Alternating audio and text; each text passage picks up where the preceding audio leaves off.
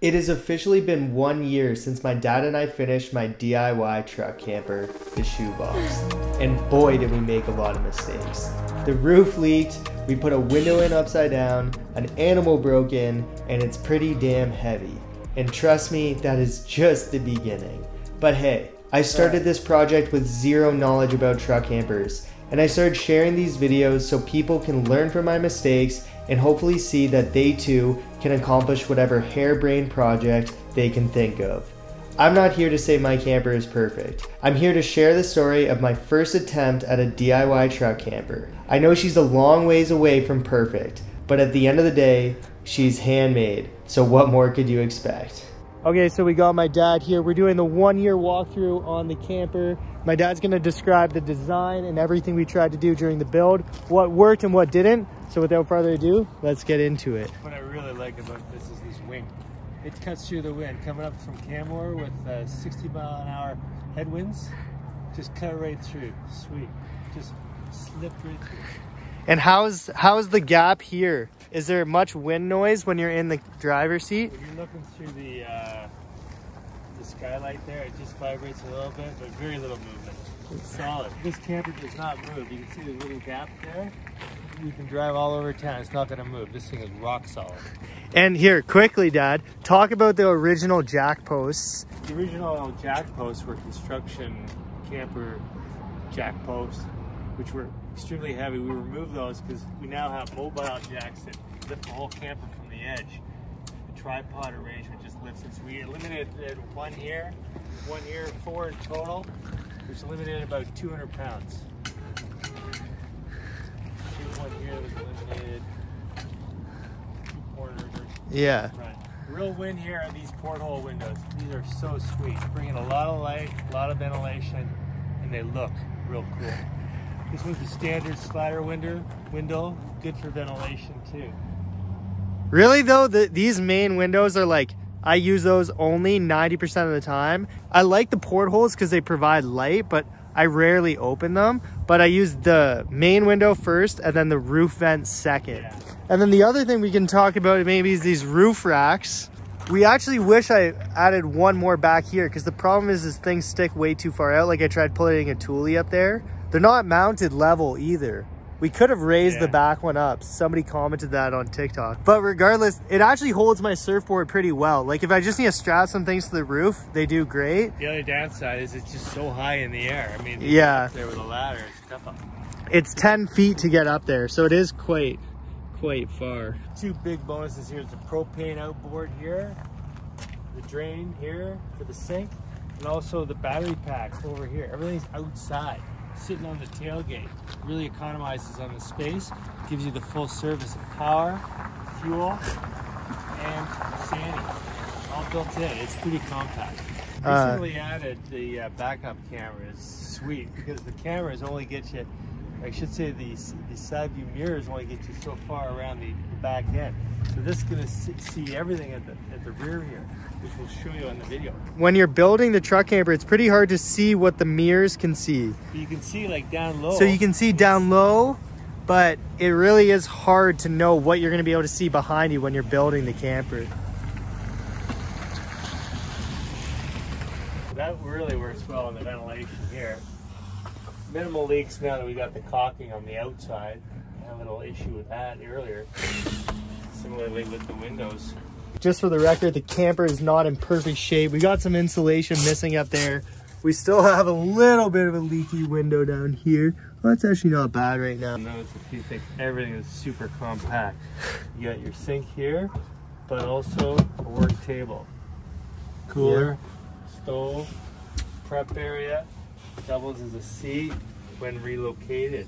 Yeah, Control panel, supersized bed, queen, yeah. extra room. Lounge. Notice the bed slots. those are new-ish, give you ventilation so you don't get moisture and mold under there. We can show you guys, this is real Seriously, barnwood. That is a spacious bed. You gotta admit, Yeah. like, that is big. Really lounging area. So, sometimes I have had it where I flip the bed this way because like it fits Right. that way and you can have the whole side. But I like having it like this because then you can sit up there and you can kind of sit up there, like if you have two people across the ways from each other. full window here.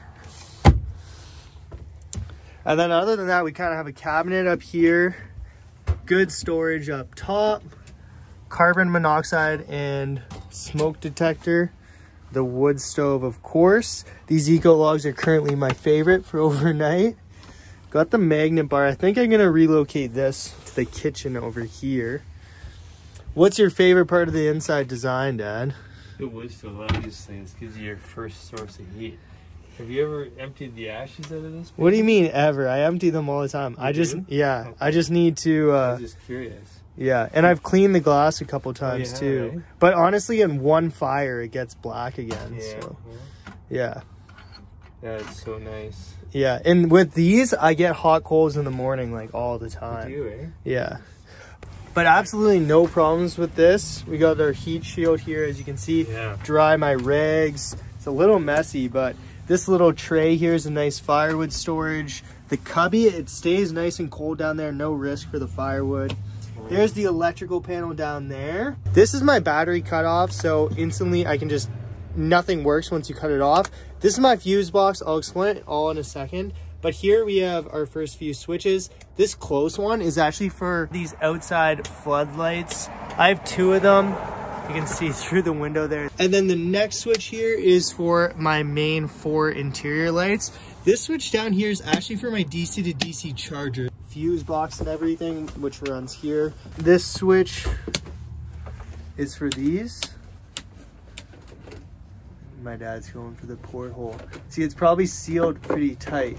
You're gonna have to give it a good, Yeah, not too bad. Yeah, there's the ventilation. yeah. No leaks in these, eh? no, no leaks. Beautiful.